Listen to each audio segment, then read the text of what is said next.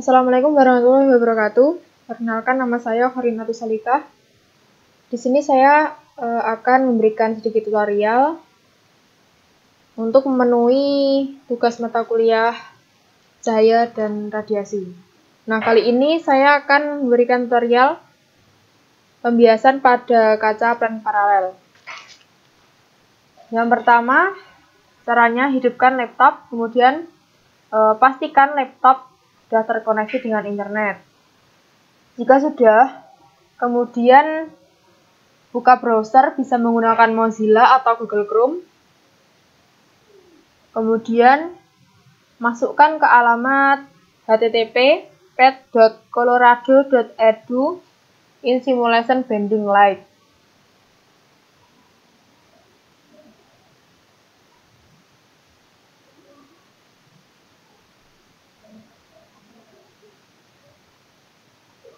Nah, seperti ini akan muncul tampilannya.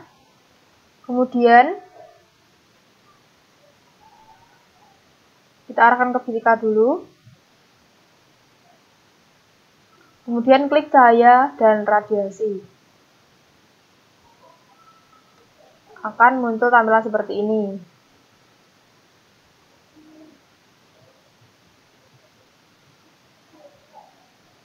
Kemudian klik bending light.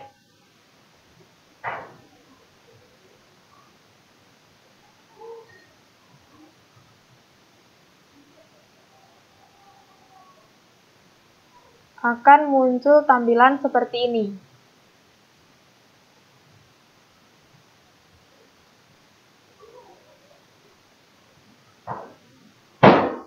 Kemudian klik tombol play pada tampilan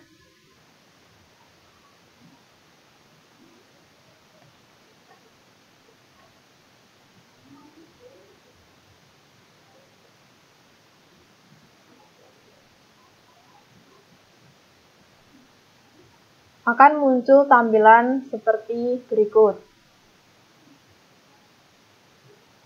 Nah, di bending light ini ada tiga, pengenalan, prisma, atau lensa, dan percobaan lainnya. Nah, kita menggunakan pilihan prisma atau lensa. Yang ini. Kita klik. Nah, akan muncul tampilan seperti berikut. Kemudian, tarik persegi. Untuk memudahkan kita menggunakan persegi. Tarik seperti ini. Letakkan tepat pada sinar. Ini sinarnya.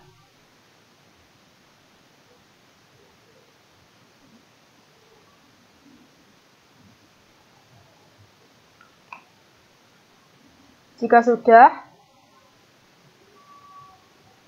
sinarnya kita nyalakan nah akan tampil seperti ini. Kita usahakan perseginya ini pada tengahnya seperti ini.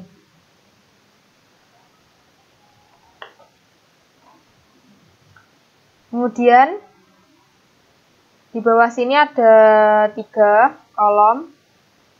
Kita centang protaktor dan posisikan normal.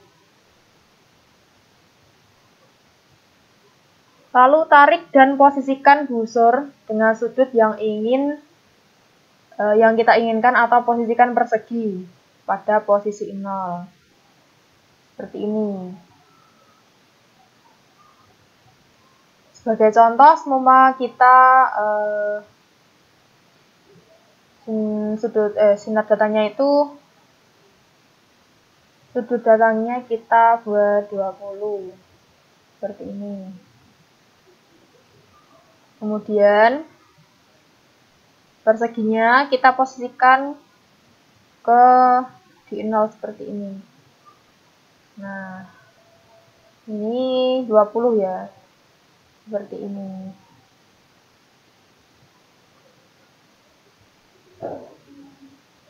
Nah, Ini tadi tutorial yang bisa saya sampaikan.